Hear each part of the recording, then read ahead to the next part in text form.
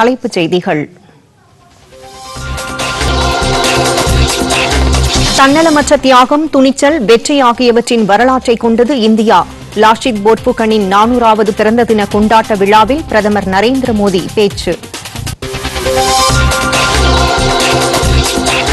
சர்வதேச சவால்களை எதிர்கொள்ள உலக நாடுகள் ஒருங்கிணைந்து செயல்பட வேண்டியது அவசியம்.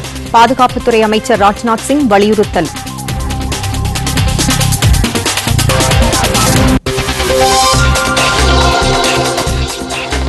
இந்தியா வளைகுடா நாடுகளுக்கிடையே விரைவில் தடையற்ற வர்த்தக ஒப்பந்தம். மத்திய அமைச்சர் பியூஷ் கோயல் தகவல்.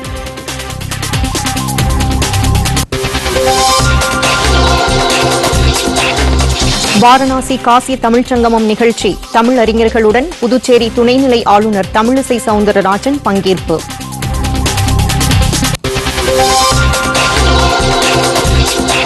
சென்னையில் ஜவுளி நகரமும் விருதுநகரில் ஜவுளி பூங்காவும் அமைக்க நடவடிக்கை எடுக்கப்படும். முதலமைச்சர் மு ஸ்டாலின்.